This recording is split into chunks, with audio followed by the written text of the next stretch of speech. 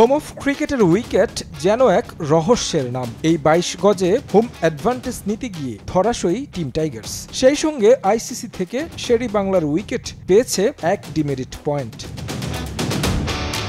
সিলেটের স্পোর্টিং উইকেটে জয়ের পরও কেন এমন উইকেট বেছে নেয়া? মিরপুরকে ক্যারিয়ারের সবচেয়ে বাজে উইকেট বলে আখ্যা দিয়েছিলেন নিউজিল্যান্ড অধিনায়ক।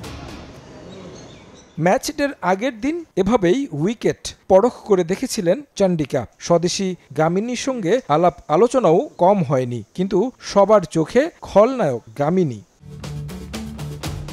বিসিবির ব্যাখ্যা পূরণ করা হয়েছে টিম ম্যানেজমেন্টের চাওয়া পাওয়া। বরাবরই উইকেট নির্বাচনের ব্যাপারে মতামত দেন কোচ ও অধিনায়ক। তাই উইকেট নিয়ে নিজেদের পরিকল্পনা বাস্তবায়ন না হলেও বিপক্ষে কথা বলেননি শান্ত। দিন শেষে ব্যাটারদের অসহায়ত্ব বলে দেয় সবকিছুই। উইকেট তো আসলে আমি চাইলেই হবে না, কারণ তারা কতটা উইকেট দিতে পারে, যে আপনারাও ভালো জানেন বাইরে থেকেও দেখা গেছে। আসলে অবশ্যই আমার কাছে মনে হয় যে যে কন্ডিশন ছিল ওই কন্ডিশনে ব্যাটসম্যানদের ব্যাটসম্যানদের জন্য অনেক বেশি চ্যালেঞ্জ ছিল। অথচ চাইলেই বানানো যায় স্পোর্টিং উইকেট যেখানে বোলারদের সঙ্গে সুযোগ থাকবে ব্যাটারদেরও যেমন প্রশংসা কুড়িয়েছিল গেল বিপিএল এর উইকেট দুই হাজার ছয় থেকে মিরপুরে খেলছি আমরা চাইলি কারণ এই মাঠে আমরা শ্রীলঙ্কার সাথে পাঁচশো প্লাস রান চেস করতে গিয়ে চারশো করেছিলাম তার মানে উইকেট কিন্তু চাইলেই ভালো করা যায়। লাস্ট বিপিএলও আমরা দেখেছি যে অসাধারণ উইকেট বানিয়েছিলেন, প্রায় দুইশো রান এভরি গেমই হয়েছে।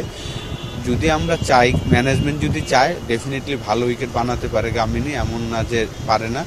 মিরপুর উইকেট যেটা বানানো হয়েছিল, এটা স্পেসিফিক টেস্টের জন্য এবং এটা দেশের কথা চিন্তা করে টেস্ট চ্যাম্পিয়নশিপের পয়েন্টের জন্য চিন্তা করে বানানো হয়েছে এবং আপনারা লাস্ট ইয়ার যখন দেখছেন যে বিপিএলের যে মিরপুরের যে উইকেটে বিহেভ ছিল, এটা ভালো ছিল। আইসিসি থেকে মিরপুরের উইকেটকে দেয়া ডিমেরিট পয়েন্টের সিদ্ধান্তের বিরুদ্ধে আপিল করতে পারবে বিসিবি দু একদিনের মাঝে বোর্ড আলোচনা করেই তা করবে, তবে তাতে কোনো পরিবর্তন আসবে কি?